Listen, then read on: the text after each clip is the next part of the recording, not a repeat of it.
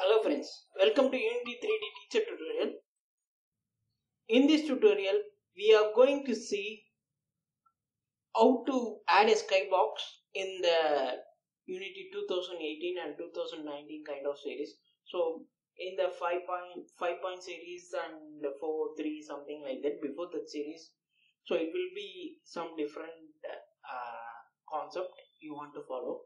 So but if you are using a 2018 or 2019 of unity series so i am going to teach you how to add a skybox to a particular series. So in order to make get in, the, in order to show you a demo so i i grabbed this asset from asset store called Farland sky chrome i put the link below description. So using this we are going to apply a skybox. So go to the skybox. Here can see lot of a lot of skybox over here so it's like a material it's having a six directions like back left right up and down. So it will apply in the form of a skybox in the entire area of your map. So for example if you have a 3d object or something. So you are in order to apply a skybox what you are going to going to do generally so go to windows select rendering okay? In that rendering click on light settings. So after that one small window has been pop up. So this is called lighting window. Click on the same.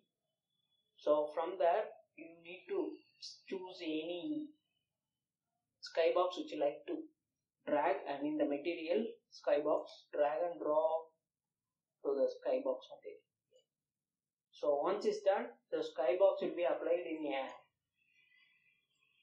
game view, so you can able to look around and the scene or either in game view with the help of a camera or with the help of a mouse in the editor. So that's it. So in this way, you can able to change a different skybox. So let me change to some other skybox. So this is one other form of the sky skybox so if you like to add light you can enable light or disable light. So it's your choice. Depending upon the light or what are the lights has been applied over here the scene will be reflected. So that's it. So in this so i just tell you one more time. Click on the windows and click on rendering and then click on light setting. So here you need to change the sky option. So that's it so in this way you can able to change the different skybox hmm. so if you think this video is very helpful for you please subscribe us